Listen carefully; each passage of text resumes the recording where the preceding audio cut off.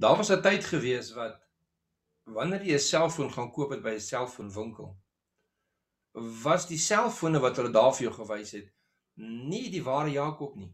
Dit was modelle gewees. Dit het gelyk soos die regte selfoon. Dit het dieselfde gewig gehad. Dit het dieselfde prentjies gehad. Maar dit was net 'n model gewees van die werklike selfoon. En in 'n mate kan dieselfde gesê word. Dis nou nie 'n perfekte voorbeeld nie.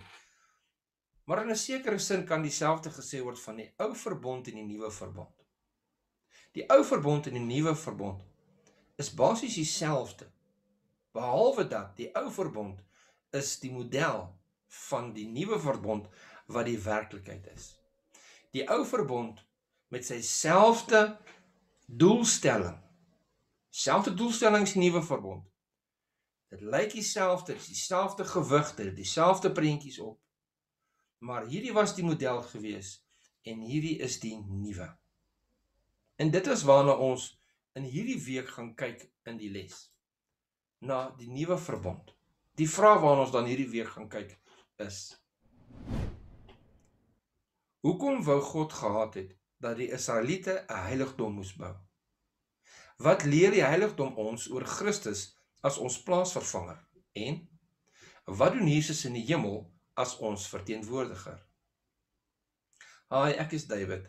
Welkom by nog 'n bespreking van ons weeklikse les saam SSL.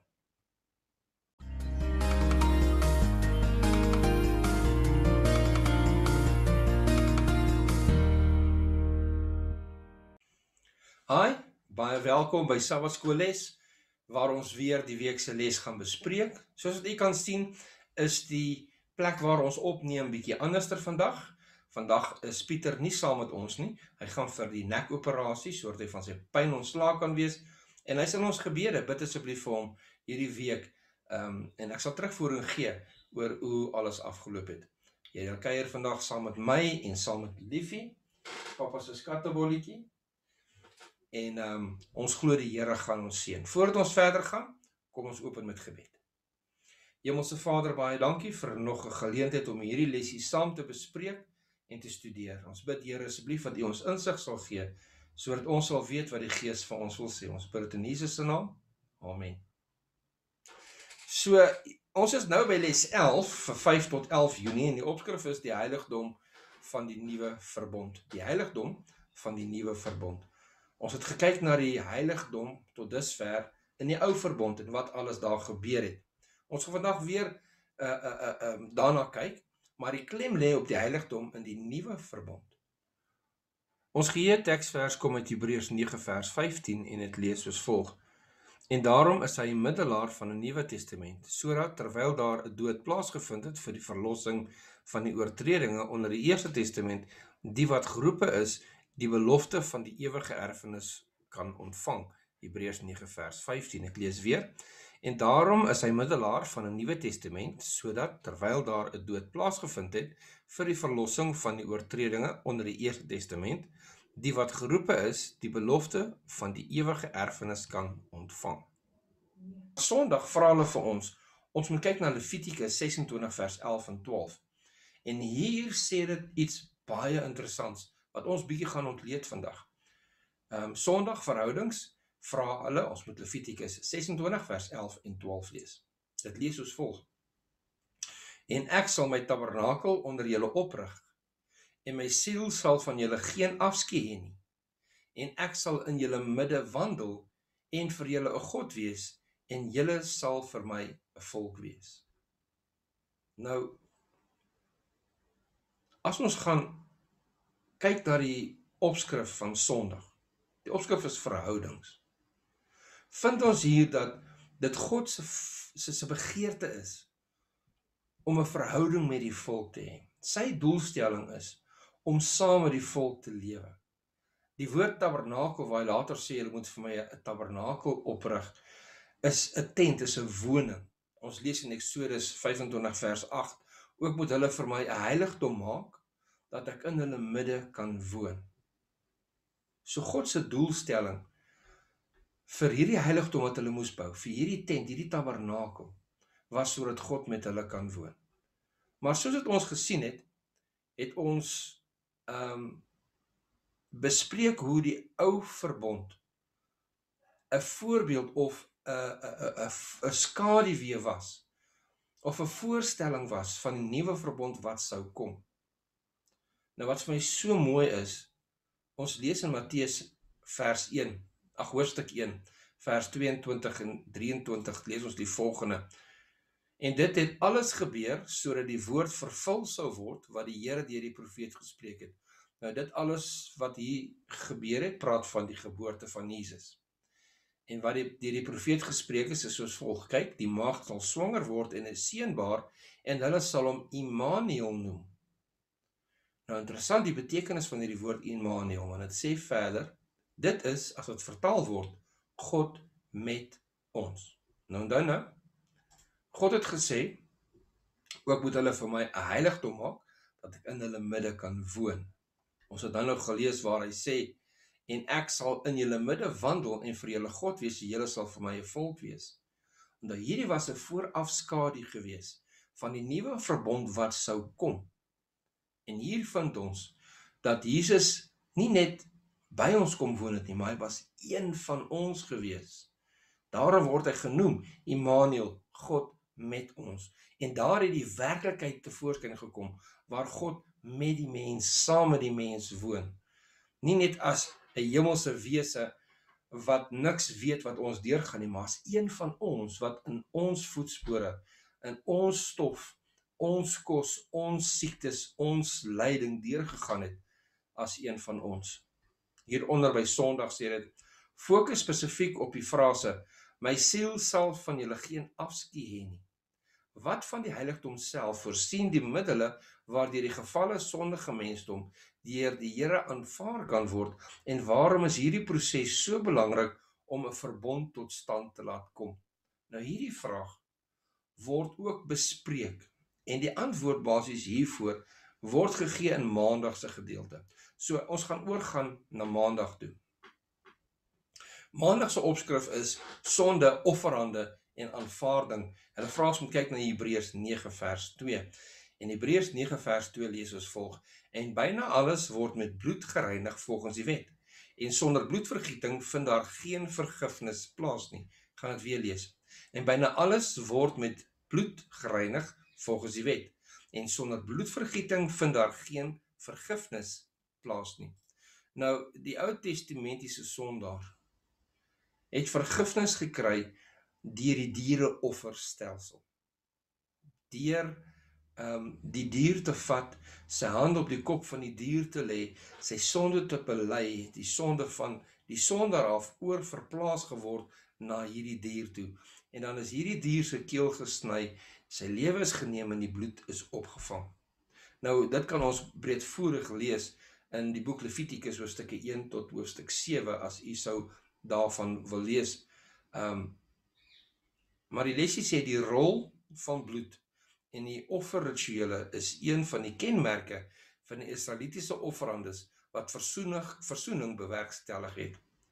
So ons het nou gelees Hebreërs 9 vers 22 wat sê uh byna alles is met bloed gereinig en sonder die vergieting van bloed sonder bloed kan daar geen vergifnis plaas uh, uh, uh, gebeur nie.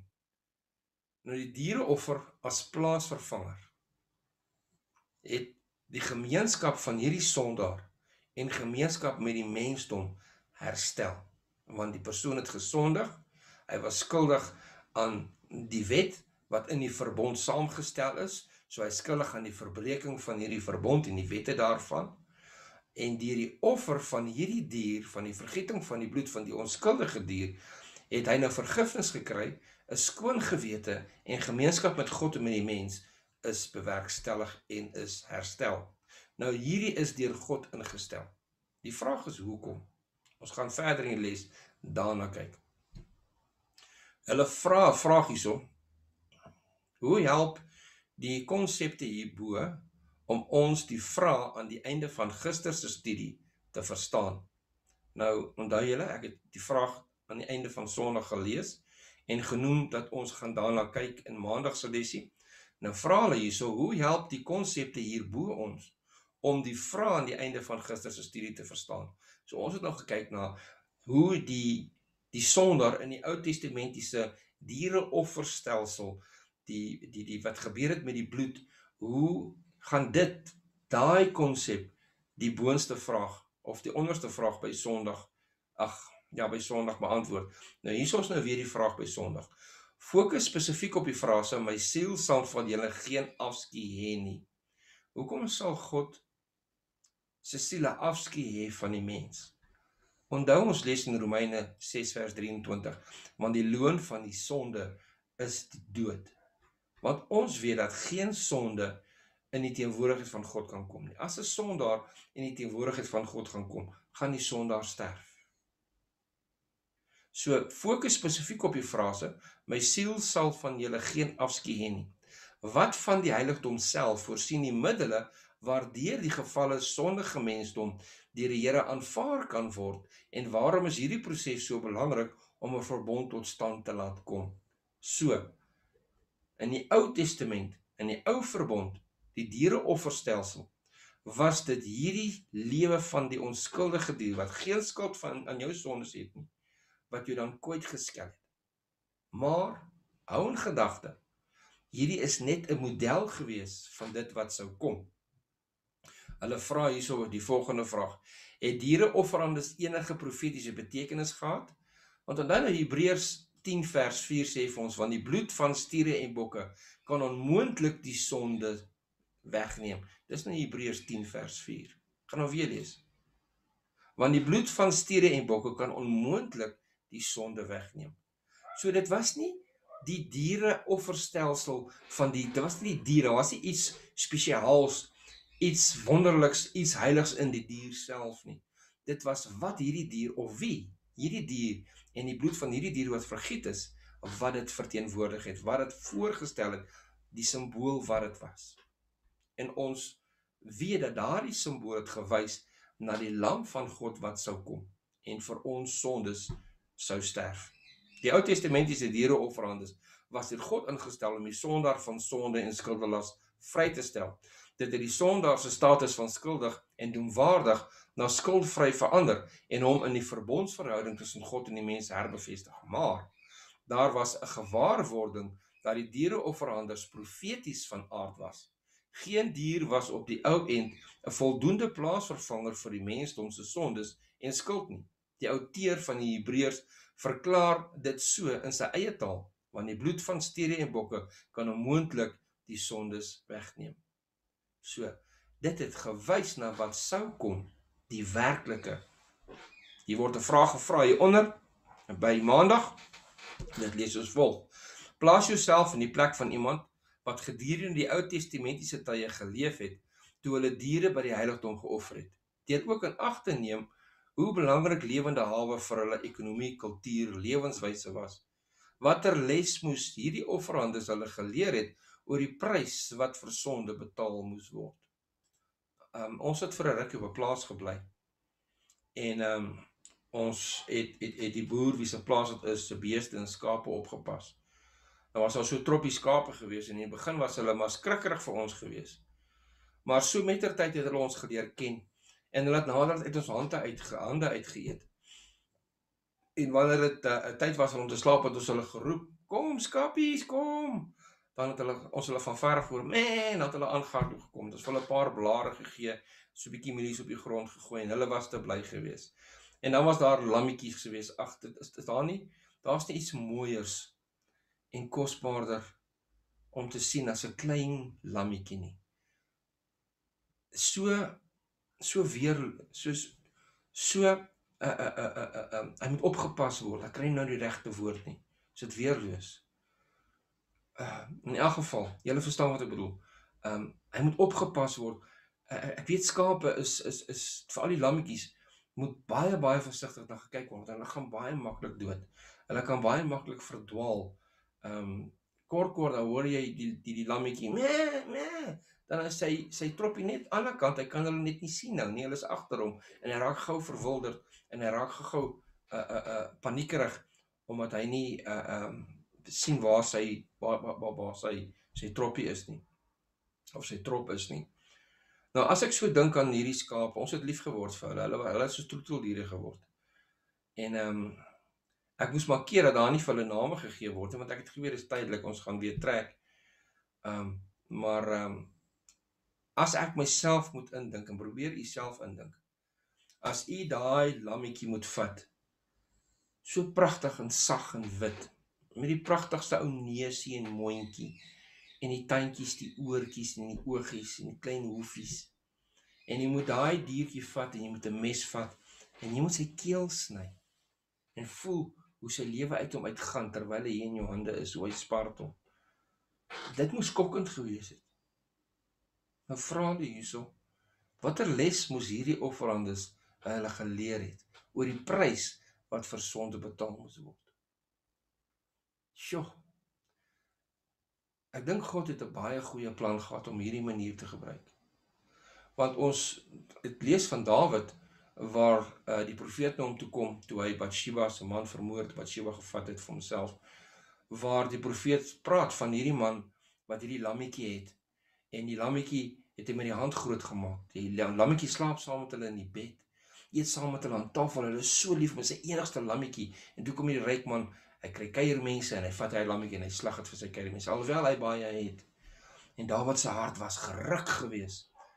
En en die volk was baie lief, was baie na aan hulle aan aan hulle kudde geweest, aan hulle kleinvee. En ek dink hierdie was vir hulle die ideale, die perfekte les geweest. Sodat hulle kan besef die onskuldige lewe wat gewys het na die lam van God wat sou kom, né? Want ons lees ook in die, in in Hebreërs waar dit sê, dieselfde evangelie wat aan ons verkondig is, was aan hulle verkondig gewees. Maar dis nou weer 'n studie op 'n ander tyd dat ons aanbeweeg. Ons beweeg dan nou na ehm um, Dinsdag toe, maar ons lesie sê Donderdag. Ehm um, die lesboekie sê Donderdag, net na Dinsdag, maar ek beloof julle, dit is uh daar's maar net 'n drukfout, daar moet kom Dinsdag. Uh en Dinsdag se opskrif vir 8 Junie is die plaasvervanging. En hulle vra ons moet kyk na Galasiërs 1 vers 4. Galasiërs 1 vers 4 lees soos volg: wat homself gegee het vir ons sondes, sodat hy ons kan uitred uit die teenwoordige bose wêreld, volgens die wil van ons God en Vader. Nou die hooftema van die Nuwe Testament ehm um, is die kruisdood van Jesus. Die die die bloedvergieting uh die die die die bloedoffer wat Jesus gegee het in ons plek. Dat Jesus gesterf het in die plek van die sondaar. Ehm um, dat hy die offerandes van sonde gebring het vir die wêreld. Ehm um, nie net vir die jy net 'n spesiale groep nie. Ehm um, en dit in gedagte met Galasiërs 1 vers 4 wat sê wat homself gegee het vir ons sondes sodat hy ons kan uitred uit die teenwoordige bose wêreld volgens die wil van ons God en Vader. Word daar hierdie vraag gevra omtrent hierdie gedeelte in die Bybel. Het Jesus aangebied om te sterf? Vir wie het hy gesterf? Wat sou sy dood tot stand gebring het? Nou kom ons kyk na hierdie drie vrae. Die eerste een is: Het Jesus aangebied om te sterf? Die vers begin soos volg: Wat homself gegee het nou wat homself gegee het impliseer dat hierdie was 'n besluit wat hy geneem het. Hierdie was nie gedwonge gewees nie. Hy het besluit om homself te gee. Hy het aangebied om vir ons te sterf. Die volgende ene is vir wie het hy gesterf? Die vers lees verder wat homself gegee het vir ons sondes. En ons beteken die mens, die mensdom. En die volgende vraag, wat sou sy dood tot stand gebring het? Dit lees verder in Galasiërs 1 vers 4, sodat hy ons kan uitred uit die teenwoordige bose wêreld. Nou ek sê julle sê ek het al hoeveel keer wat ek kyk na die toestand van die wêreld, ek kyk na die nuus. Ek hoor die dinge wat gebeur en ek ervaar die die die die die toestand van die van van van die wêreld. Dan bid ek Here asseblief kom. Kom maak 'n einde aan hierdie sondige wêreld. En hierdie is vir my sulke mooi nuus waar dit sê dat sodat hy ons kan uitred uit die teenwoordige bose wêreld. Die Here gaan ons kom haal en 'n einde maak aan hierdie bose wêreld. Dis vir my pragtige mooi nuus. Die lesie sê plaasvervanging is die sleutel tot die hele plan van verlossing. Nou is 'n baie groot punt wat hier gemaak word. En die punt wat hier gemaak word is dat hierdie plaasvervangende offer van Jesus daar sonder is daar geen plan van verlossing nie. Dit sê verder hierso. Omdat ons sondig is, verdien ons om te sterf. Christus het homself gegee vir ons sondes. Hy het die dood gesterf wat ons verdien het om te sterf. En luister nou mooi wat dit hierso sê. Die dood van Christus as plaasvervanger vir sondaars is die groot waarheid waaruit alle ander waarhede voortspruit. En dit is so waar. Want sonder daardie plaasvervangende dood van Jesus as ons hierdie bloedversoeningsdaad van Christus sou verwerp, wat sou ons gehad het? Geen ander waarheid in die Bybel sou enige sin maak nie. Die moslems beweer dat hulle in Jesus glo. Hulle sal vir jou sê, nee, maar ons glo in Jesus. Ons weet van hom en ons glo in hom. Ja, hy was die Messias wat sou kom. Maar hy het nie gesterf vir julle sondes nie.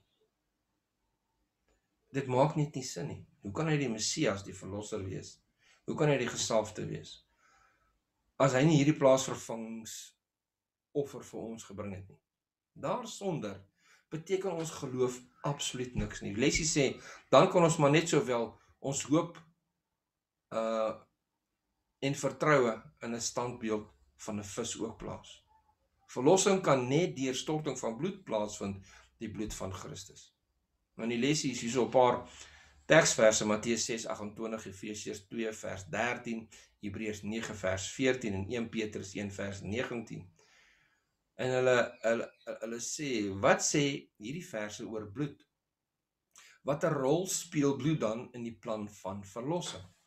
En ek wil so so 'n paar van hulle lees. Matteus 26 vers 28 sê want dit is my bloed, dis Jesus wat hier praat. Die bloed van die Nuwe Testament wat vir baie uitgestort word tot vergifnis van sondes. Sonder bloed is daar nie vergifnis van sondes nie. Sonder die bloed van Christus is daar nie 'n Nuwe Testament nie.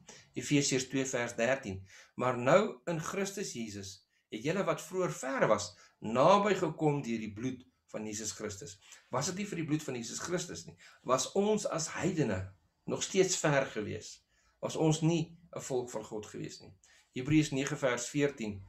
Um wat ek hierdie skuif sê hoeveel te meer sal die bloed van Christus wat homself deur die ewige gees aan God sonder smet geoffer het, julle gewete reinig van dooie werke om die lewende God te dien. So selfs die vernuwing van ons gemoed van ons verstand die die die die uh, herstel van die karakter van God binne ons word bewerkstellig as gevolg van die bloed van Christus. Daar sonder kan dit nie gebeur nie. Uh dit wil wel voorkom ek lees al die verse. 1 Petrus 1 vers 18. Uh nee, hulle sê ons moet vers 19 lees, maar ek wil graag vers 18 ook lees. Um omdat julle weet uh dat julle nie deur verganklike dinge, silwer of goud losgekoop is uit julle ydelle lewenswandel wat deur die Vaders oorgelewer is nie, maar deur die kosbare bloed van Christus soos van 'n lam sonder gebrek en vlekkeloos. Niks anderster kon die prys betaal nie niks anderster was kosbaar werd genoeg nie. Ek wil graag 'n aanhaling lees hierso uit die boek um The Faith I Live By bladsy 100. Dit is my so mooi. Luister 'n bietjie hierna. Dit is nie God se wil dat jy wantrouig moet wees en jy moet martel deur te vrees dat God jou omdat jy sondig en onwaardig is nie sal aanvaar nie. Jy kan sê ek weet ek is 'n sondaar en dit is die rede hoekom ek 'n verlosser nodig het. Ek het geen verdienstelikheid of goedheid wat my sal help om op verlossing aanspraak te maak nie. Maar ek bied aan God die versoenende bloed van die vlekkelose lam van God wat die sonde van die wêreld wegneem. Dit is my enigste pleidooi. En daarom wanneer die offer van Jesus ek meen selfs die Katolieke Kerk sê nee Jesus het nie regtig gesterf op die kruis nie. Uh uh uh uh, uh dit was dit was net 'n uh, uh, beeldspraak gewees. Dit maak net nie sin nie. Hoe kan 'n mens jouself dan 'n Christen noem as hy nie werklik vir ons gesterf het nie? Volgens die Bybel kan daar geen uh, uh, vergifnis plaasvind sonder die storting van bloed nie. En slegs die bloed van Christus. Die bloed van die diere van die Ou Testament. Dis nie wat die mense gereinig het van hulle sondiges nie, maar dit was die bloed wat dit voorgestel het. Hier's 'n vraagie onder hulle sê dink aan hierdie aanhaling hierbo. En ek wil u graag vra dat dat u u kommentaar hieronder sal los of op ons webtuiste of op ons Facebookblad in sake hierdie vraag. Dink 'n bietjie oor hierdie aanhaling en kyk as u dit kan uitdruk in u eie woorde met u eie ervaring. Dit sê skryf dit in jou eie woorde oor. Pas dit op jouself toe.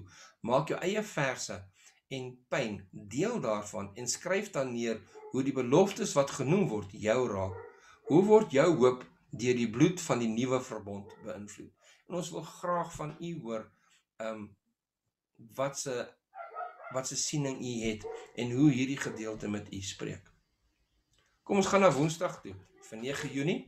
Uh die hoëpriester van die nuwe verbond. Die hoëpriester van die nuwe verbond ekskuus, die lesie sê die aardse heiligdom waar God gekies het om onder sy volk te woon, dis nou die aardse heiligdom, né?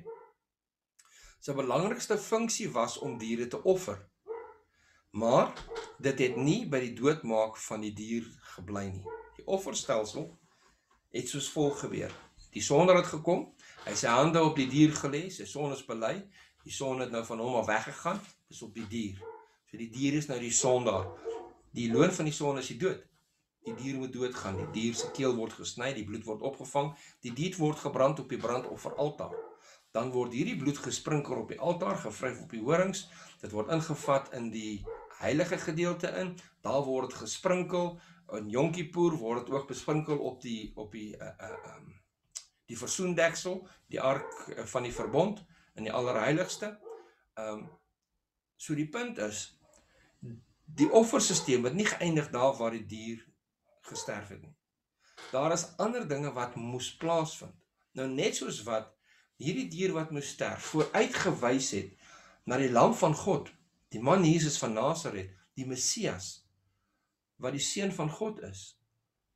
Wat voor wat vooruitgewys het dat hy gesterf het. Dit was nie die einde gewees van sy bediening nie. Die lesie sê vir ons hierso, net soos die simbole, die heiligdomsdienstelsel nie by die dood van die slagoffer geëindig het nie, het Christus se werk vir ons ook nie by die kruisdood opgehou nie. Nou vra hulle hierso by hierdie vraag, ons moet kyk na Hebreërs 8 vers 1 tot 6 en ek wil dit graag vir ons lees. Dis nou Hebreërs 8 vers 1 tot 6. En kom ons kyk 'n bietjie daarna vers vir vers. Dit sê so in vers 1. Die hoofsaak nou van wat ons gesê het is dit. Ons het 'n hoëpriester wat gaan sit het aan die regterhand van die troon van die majesteit in die hemele. Nou wie's daai hoëpriester? Ons weet dis Jesus Christus, want ja, Jesus het gesterf op die kruis. Hy's begrawe, maar Sondagmôre het hy opgestaan. En daarna het hy getuienis gelewer aan die wat hom gesien het en hy het opgevaar. En hy sit aan die regterhand van God. Dis wat ons hier lees. Hy tree nou vir ons in as ons hoëpriester. Net soos wat die priester se werk of die offerstelsel se werk nie opgehou met die dier se sterfte nie. Daar's dinge wat moet gebeur daarna ook. En dit vind ons dan nou hierso. Die hoofsaak nou van wat gesê het, ons gesê het is dit. Ons is so 'n priester wat gaan sit het aan die regterhand van die troon van die majesteit in die hemele. Vers 2. 'n Bedienaar van die heilige dinge en van die ware tabernakel wat die Here opgerig het en nie mense nie nou van Abraham, ag Moses het daar 'n voorbeeld gegee van die hemelse tempel gesê jy moet vir my 'n voorbeeld maak hier op die aarde. So die hemelse een is die werklike een. Vers 3. Wat elke hoëpriester, want elke hoëpriester word aangestel om gawes en offers te bring. Daarom moes hy ook iets hê om te offer. En wat het Jesus geoffer? Sy lewe, nê? Sy eie bloed. Vers 4. Want as hy op aarde was, sou hy self geen priester wees nie, omdat daar priesters is wat volgens die wet die gawes offer. Jesus was nie van die stam van 'n uh, 'n uh, 'n uh, Levi nie. Hy was nie 'n uh, 'n uh, uh, van die stam van die priesters nie. Daarom sê die Bybel ook hy is 'n priester volgens die orde van Melchisedek. Vers 5: Hulle wat 'n afbeeldsel en skaduwee van die hemelse dinge bedien, soos Moses 'n goddelike bevel ontvang het toe hy die tabernakel sou voltooi, want hy het gesê: "Kyk dat jy alles maak volgens die voorbeeld wat jou op die berg getoon is." So weer eens sê dit hierso dat wat hulle in die Ou Testament bedien het die priesters was 'n afbeeldsel en 'n skaduwee van die hemelse dinge.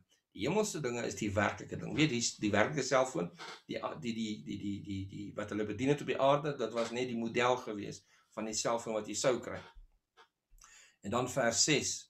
Maar nou het hy 'n voortreffeliker bediening verkry vir sover hy ook middelaar is van 'n beter verbond wat op beter beloftes wettiglik gegrond is. En dit is so 'n pragtige belofte. Ons lesie sê vir ons hierso. Net soos daar 'n aardse heiligdom, 'n priesterorde en priesterdiens in die ou verbond was, is daar in die hemelse heiligdom 'n hemelse priesterdom en 'n hemelse bediening in die nuwe verbond. Wat egter net simbole, afbeeldings en skaduwees, Hebreërs 8 vers 5, in die ou verbond was, is 'n werklikheid in die nuwe. En dit is waar ons Here nou bedien. Hy het die priesterskleed aan waar hy nou vir ons intree en hy tree vir ons in as mens. As hy gegaan het om vir liefie te gaan red, dan het hy voor die Vader verskyn as as 'n hond, as 'n dier, maar hy verskyn voor God as 'n mens. En Jesus het nie nou iewes skielik weer geword wat hy was voordat hy mens geword het nie. Die Bybel sê vir ons hy skaam hom nie om ons sy broers te noem nie. Hy het mens geword en hy staan voor God as mens en hy tree vir ons in vir die mensdom as mens. Daarin is soveel waarhede. Daar is soveel boeke wat geskryf kan word. Ons het tot in ewigheid die vleeswording van Jesus, die offer van Jesus gaan gaan ons studeer. Ons gaan nooit die dieptes daarvan bepaal nie. Dit is 'n baie heilige baie heilige onderwerp. Ons beweeg donderdag toe vir 10 Junie. Hemelse bediening En dan vra ons moet kyk na Hebreërs 9 vers 24 wat sê want Christus het nie ingegaan in 'n heiligdom met hande gemaak, 'n teebeeld van die ware nie, maar in die hemel self om nou voor die aangesig van God vir ons ehm um, vir ons te verskyn.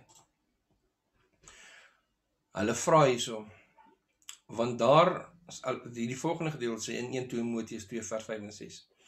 Want daar is een God en een middelaar tussen God en die mense, die mens Christus Jesus wat homself gegee het as 'n losprys vir almal as die getuienis op die regte tyd. En dan vra hulle 'n vraagie so, maar voordat ons na daai ene toe gaan. Hulle sê so want daar is een God en een middelaar tussen God en die mens. Die mens Christus Jesus. Nou hierson in Hebreërs 9 vers 24 het ons gelees, ek gaan dit weer lees want Christus het ingegaan in 'n heiligdom met uh skus het nie ingegaan in 'n heiligdom met met hande gemaak nie 'n teebeeld van die ware nie maar in die hemele self om nou voor die aangesig van God vir ons te verskyn. So Jesus is nou self in die hemelse heiligdom en hy verskyn daar in die heerlikheid van God.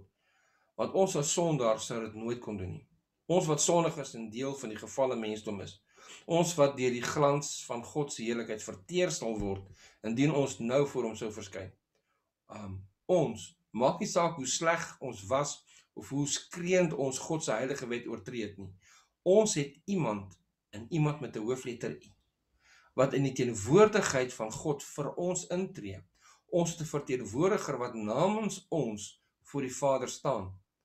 Dink aan hoe liefdevol, vergewensgesind en te geboetkomend Christus was toe hy op aarde was. Hierdie selfde persoon is nou ons middelaar in die hemele. Dis daarom maar wonderlik as jou prokureur ook die regter is, né? Nee? Nou kom ons gaan nou weer na 1 Timoteus 2 vers 5 en 6 sê.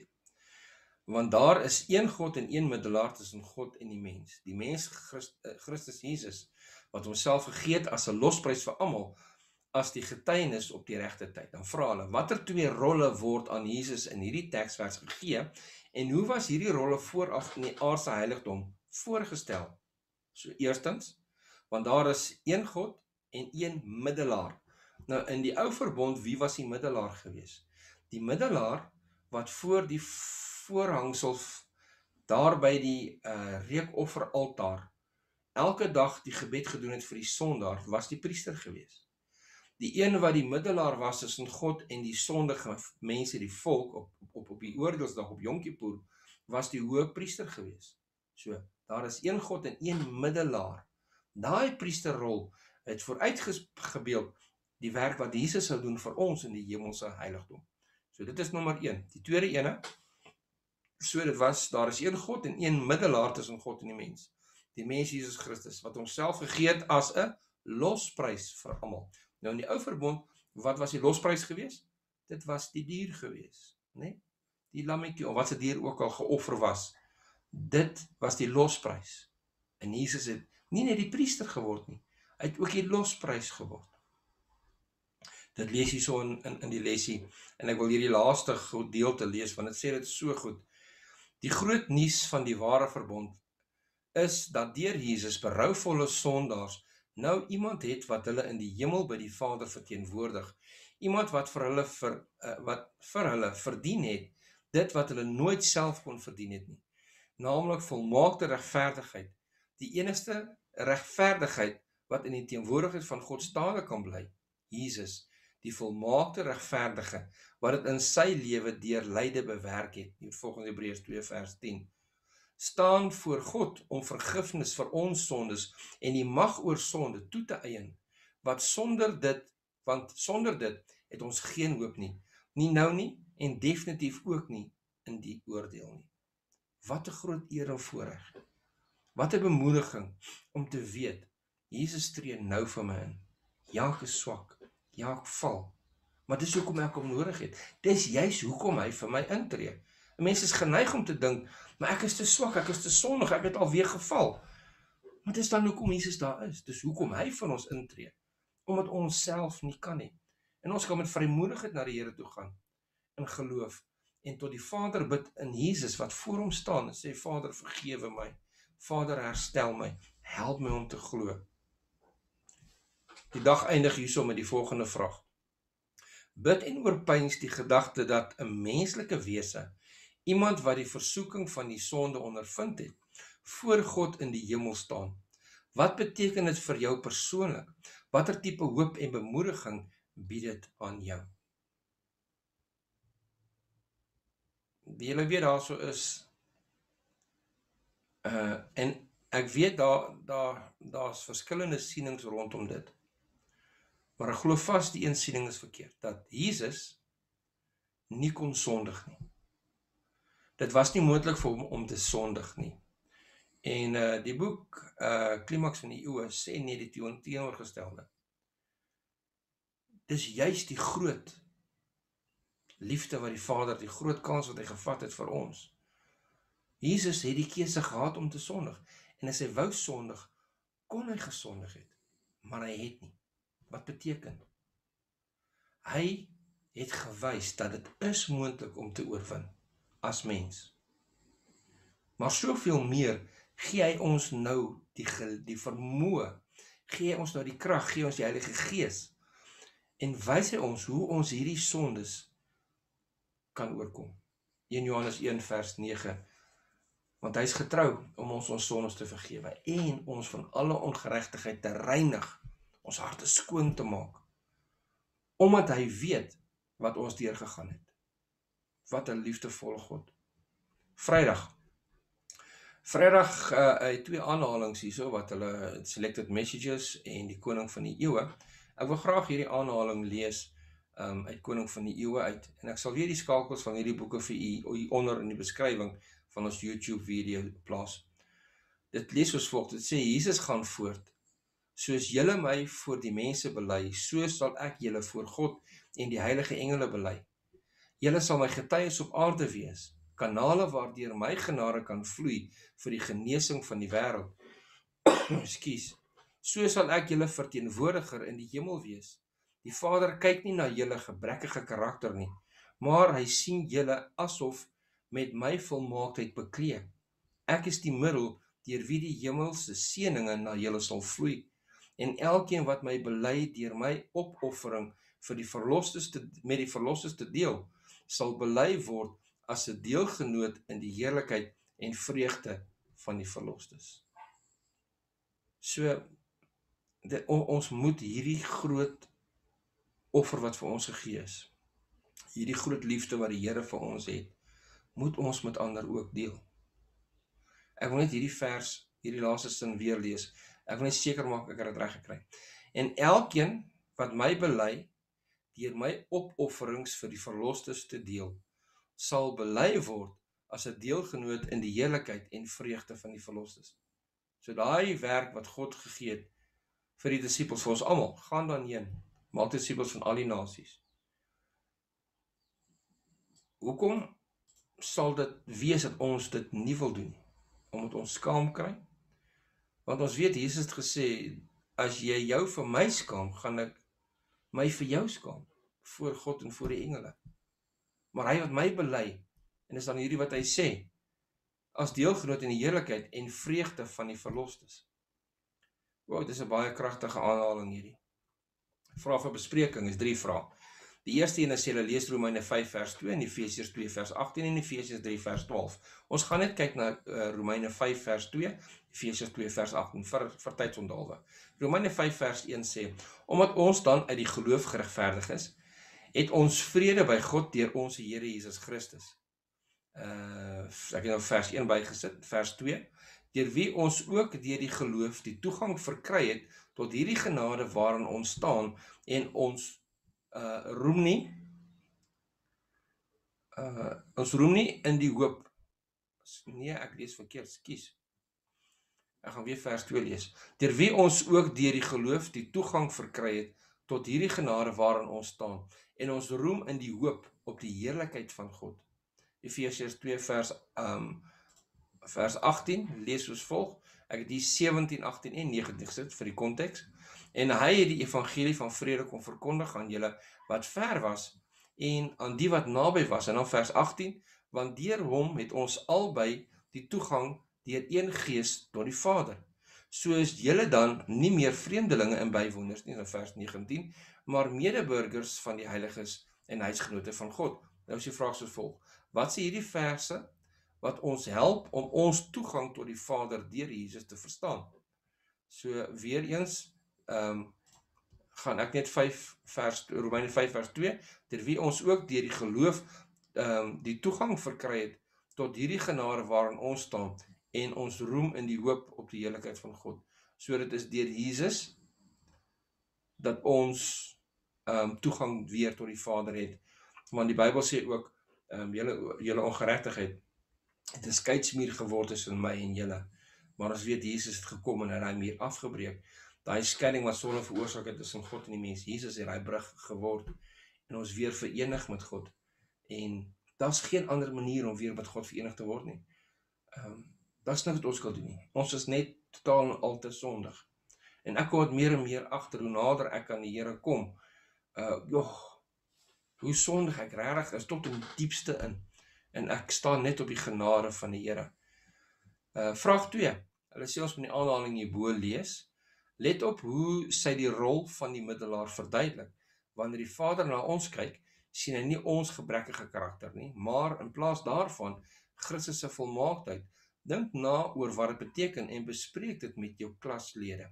Nou ek wil die vraag hierdie vraag sal bespreek ook hier onder in ons besprekingsafdeling, ons kommentaar. Ehm um, wat dink u daarvan? Wat is u gevoel rondom wat dit sê wanneer die Vader na ons kyk, sien hy nie ons gebrekkige karakter nie, maar in plaas daarvan Christus se volmaaktheid. Maar vir my is dit want ek kry skaam oor my sondes. Ek ek kry skaam en ek voel sleg oor hoe sondig my karakter is. Maar dat ek voor die Vader kan staan soos Christus wat tog nooit gesondig het nie. Wow, dat God ons so lief kan hê. Vraag 3.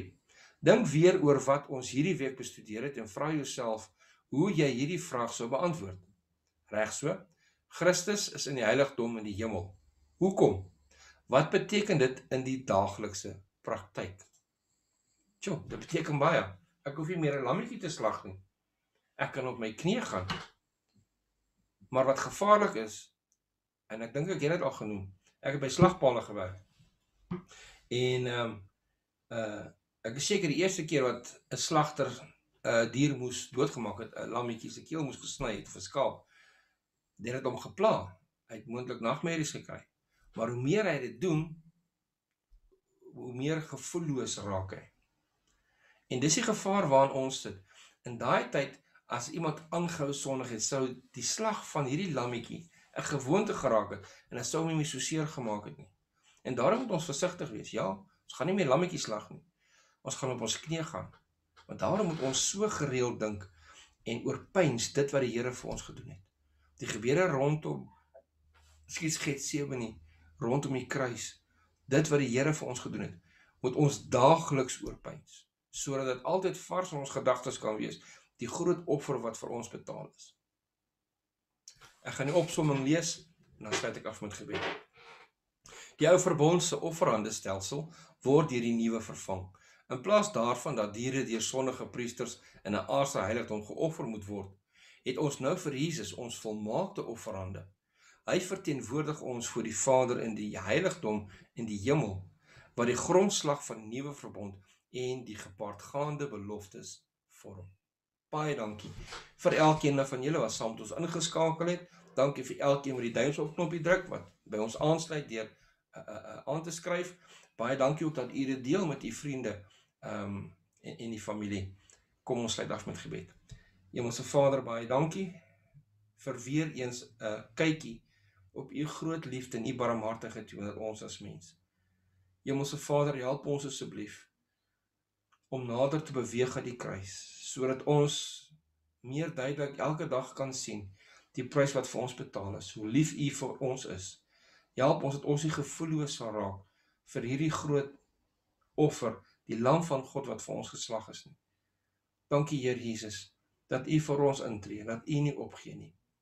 Wees met elkeen van ons hierdie res van die week en bring ons saam veilig weer bymekaar waar dit ook al moontlik is. Ons bid dit asseblief in Jesus se naam. Amen. Tot volgende week. God se ryke seën.